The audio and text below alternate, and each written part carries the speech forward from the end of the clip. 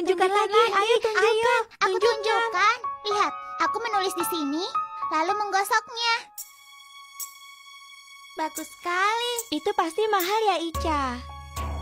Hmm, Kau pasti membelinya dari toko yang mahal.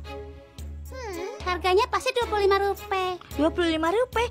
Tidak, harganya pasti 100 rupiah. Benar kan, Ica?